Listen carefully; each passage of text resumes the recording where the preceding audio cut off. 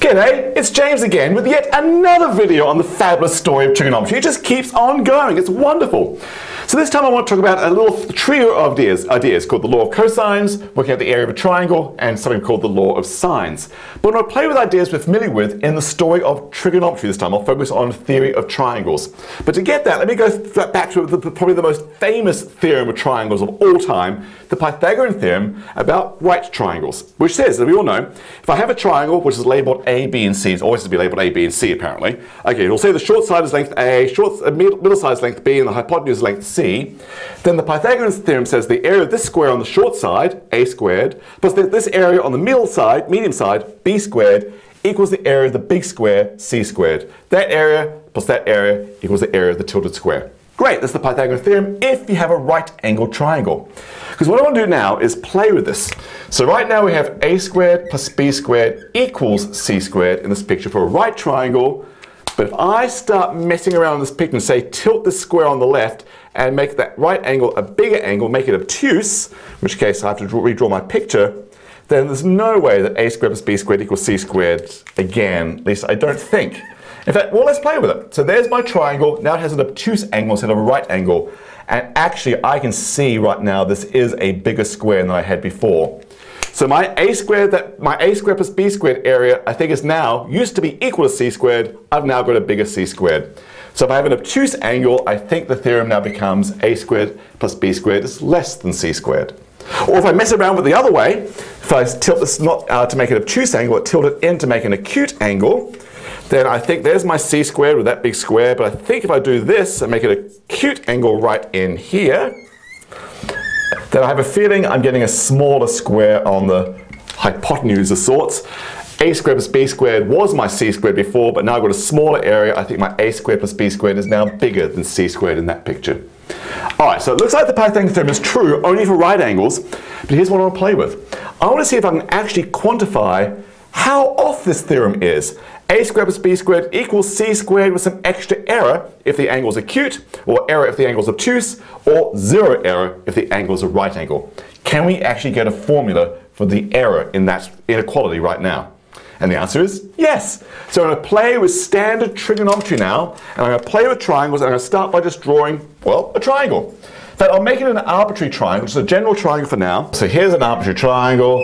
Um, I'll call that A like I did before, that B as I did before, and that was C, so I guess I've got squeezed in to be an acute angle here. In fact, here's a convention. If you've got the sides labeled some letters like A, B, and C, it's common to actually give the angles a very similar name to the sides they're opposite of.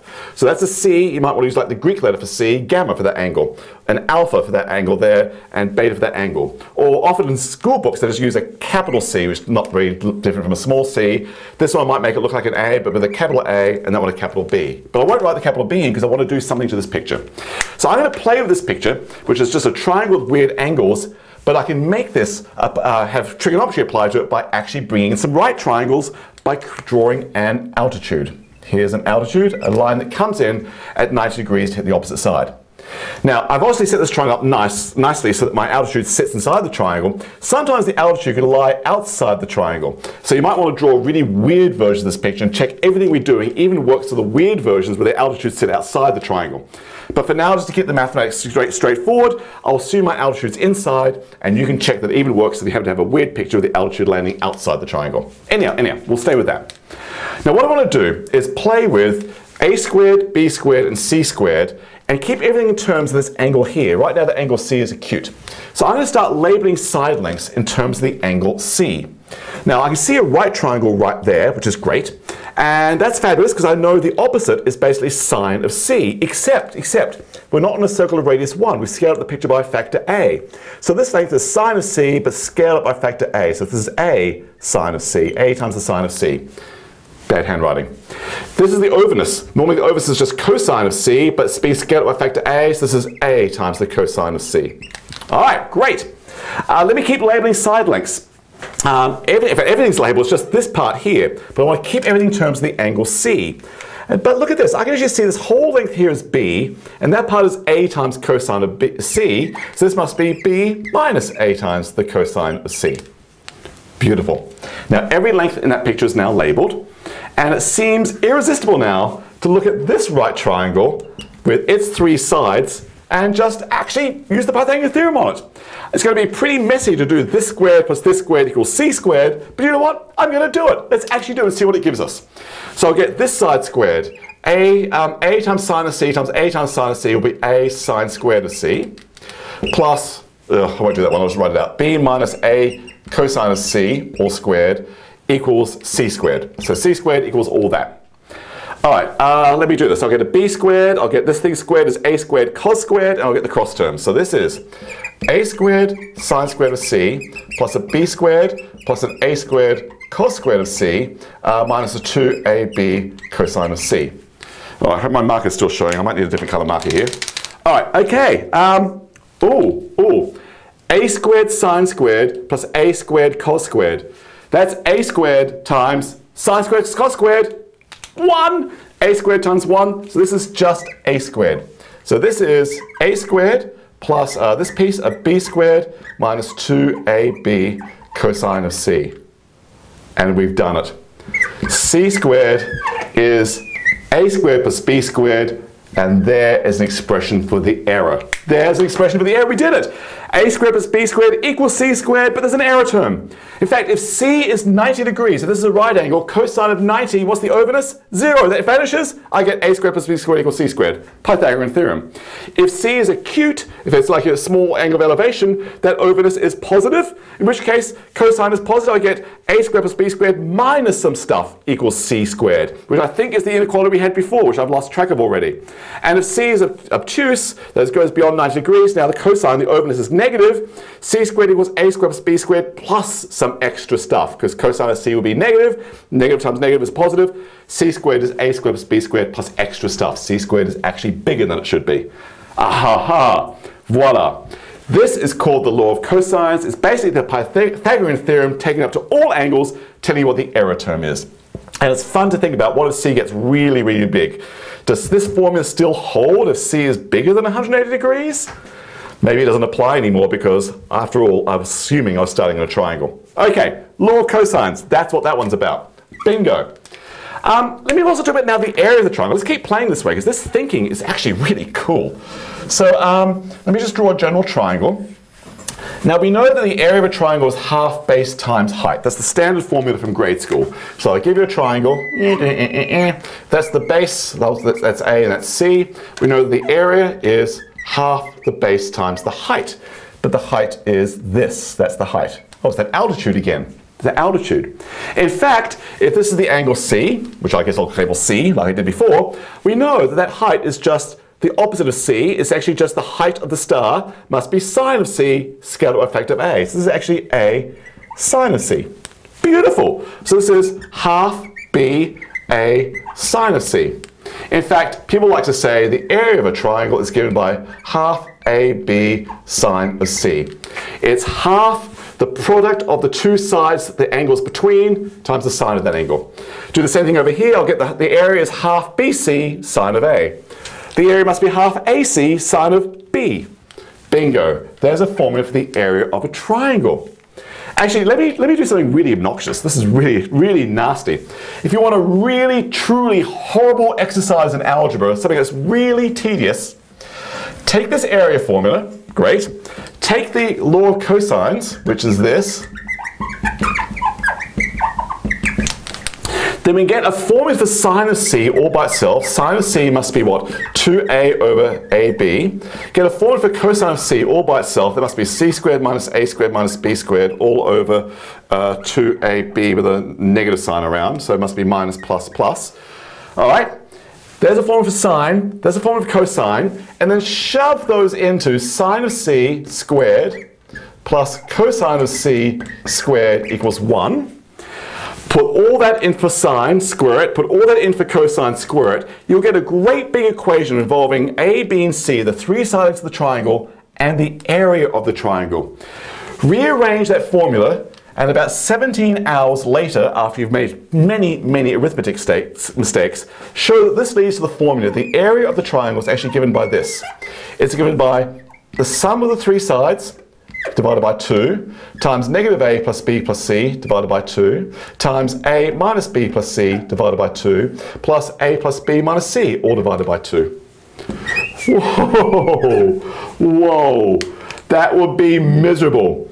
Formula for the area of a triangle, the law of cosines gives me a formula for sine and cosine. There's a basic relationship between sine and cosine. I'll give you an equation about a's and a, b, and c's. Show me it's that equation.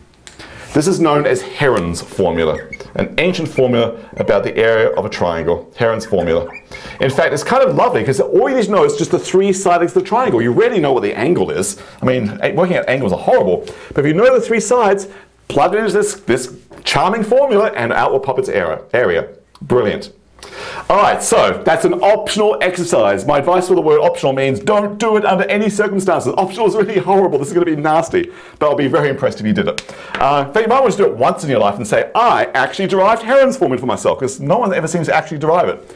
Okay, um, third one, law of sines. So I'm going through a lot of stuff that appears in textbooks. Though actually, I don't think Heron's formula typically appears, appears in a textbook. But Okay, so I'm on a roll. Law of cosines, the area of a triangle. Let me now do this third thing called the law of sines, which is a path that could have gone early on. In fact, if I go back to the original picture I drew, which is a triangle, sides A, C, and B. Um, I'll label this angle C, I'll label this angle A, and I'll label that angle B. But I'm going to do the same thing I did before, not label angle B, because I'm about to put an altitude that goes right through it. Now, that altitude. We did actually notice, if I looked at this right triangle here, I'm seeing the picture of the height here opposite angle C, that's normally the sine of C, but I want a circle of radius A. So scale it by factor of A, this must be A times the sine of C. Now, what I could have also done is say, hang on, hang on, hang on. Focus on this angle A as well, and look at this. This is also the height for angle A. So an angle elevation for an angle A on a circle, scale it by a factor of C. So this actually is the sine of A scaled up by C. So there's also C times sine of A. Okay, so I've just learnt that A times sine of C is the same as C times sine of A. So I've got a mixture, like a little cross things of C's and A's going on. Let me just bring it all together. Uh, a divided by the sine of A a divided by the sine of, sine of A must be the same as C divided by the sine of C. So I've just learned, I've just learned something really curious.